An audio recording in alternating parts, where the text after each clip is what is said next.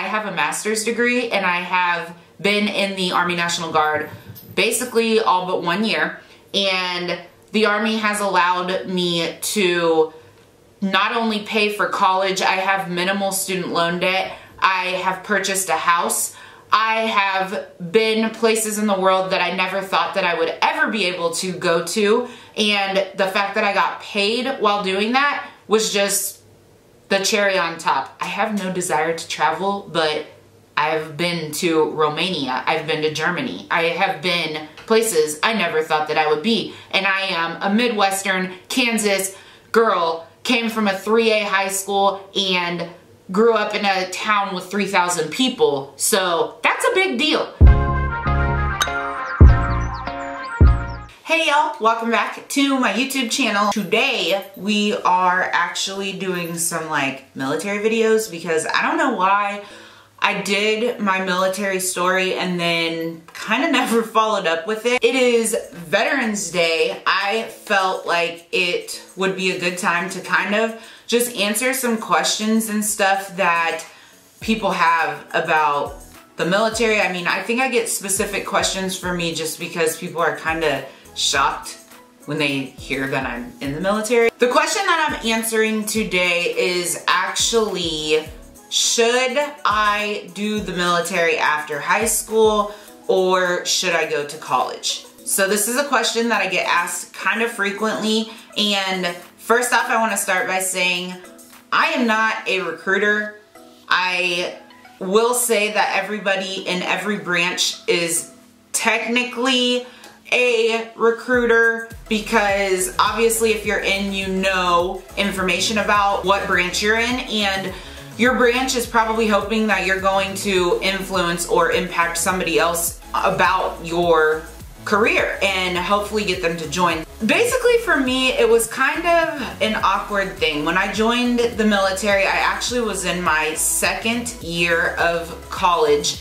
I grew up in a very small, small, small, small, small, small, small town. Jumping from a small town to a super ginormous college was kind of a big transition for me. And there's so many ways that that can go for people, but for me it went pretty well. Honestly, I'm shocked that I survived, but I did. College is super expensive. I didn't realize that at all, and my parents actually, I have a brother, so they have two kids that are a year apart. So it was like I was going to college and the next year my brother was going to college. And my parents are older, so I was like, I'm not okay with them taking out these loans. What do I do to help them? So I started like asking other people and I don't even know how I came across joining the National Guard, but basically one of my peers from high school was in the National Guard and I spoke to him about it and it seems like a week later I was signing the paperwork and like going to MEPS and doing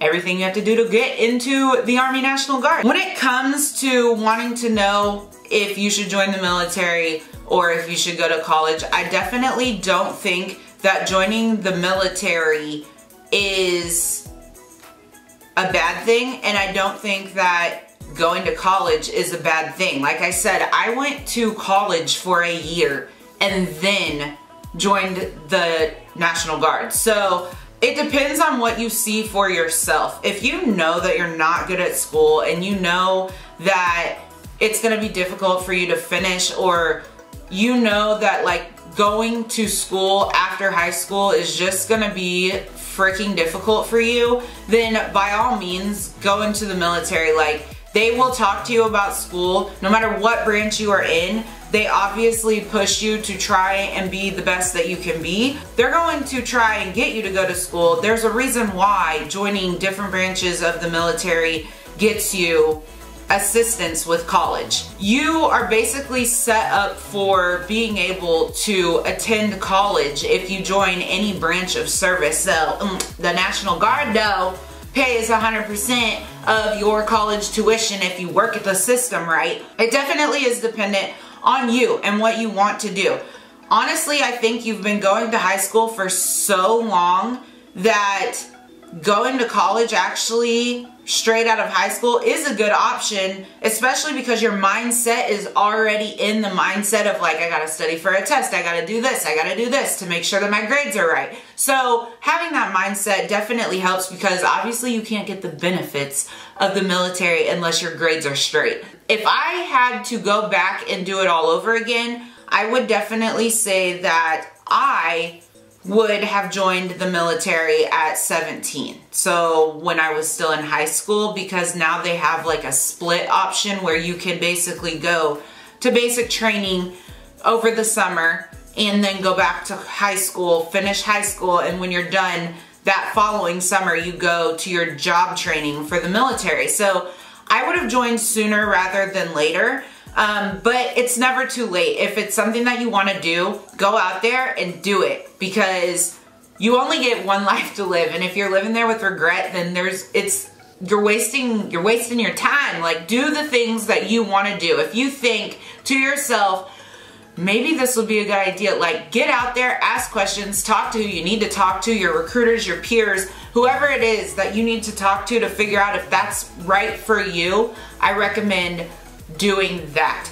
There's a million other things that can go into making sure that you're getting the full benefits from the military, but those are for another video. I'm just going to reiterate that when it comes to should you go to school or should you join the military, I honestly think the military is and has been a great experience for me, even with the negatives. I still think that it's one of my biggest accomplishments and I recommend looking into every single branch and if it's something you're on the fence about, the National Guard is funded by your state. Joining the National Guard is definitely an option to really take into consideration. And also the reserves, I think, um, they're federally funded, but I think looking into that too, especially if you're like on the fence about going to college because those definitely leave a lot more time for you to be able to go to college because you go and do your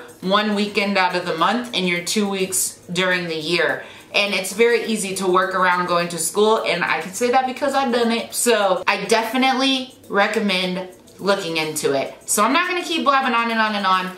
I do plan to make more videos for you guys about stuff in the military because I don't want to leave you guys hanging and there's so much information that I just want to put out there about the Guard and the military in general and what better way to do that than here on YouTube. So I'm gonna stop blabbing. Thank you guys so much for watching and until next time I will talk to you soon. If you have any other questions that you would like to ask a veteran, leave them in the comments below, or you can also shoot me an email, snap me, DM me on Instagram.